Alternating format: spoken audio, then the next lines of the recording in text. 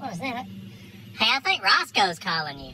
Well, answer it. I'm kind of busy here. Alright, you ain't gonna be so angry about it. Shit, fine. Hello.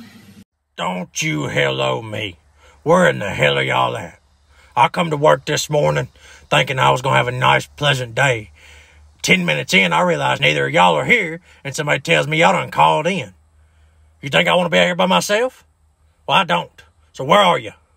Yeah, we called in today and we just wanted to go play some golf, man. You should have came with us.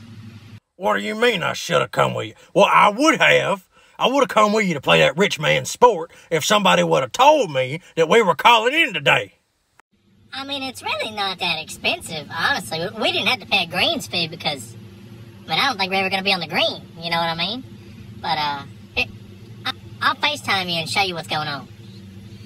Just turn this thing around.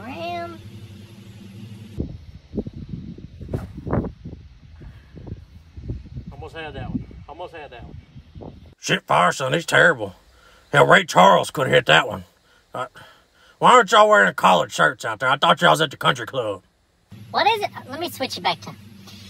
Oh, no, it, they told us to take our collared shirts off. They didn't want people to think we were part of the country club. Yeah.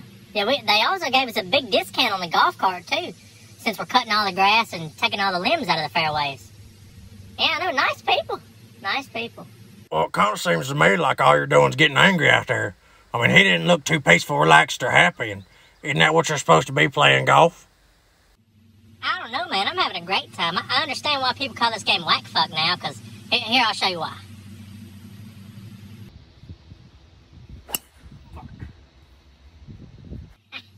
You are straight trash, my guy. Hey, so look, uh, I'll call you after we get done here. We gotta go find like 17 golf balls. We have no idea where they are. But we'll go eat or something after this. I know I'm gonna be fucking hungry. Playing hide and seek all day.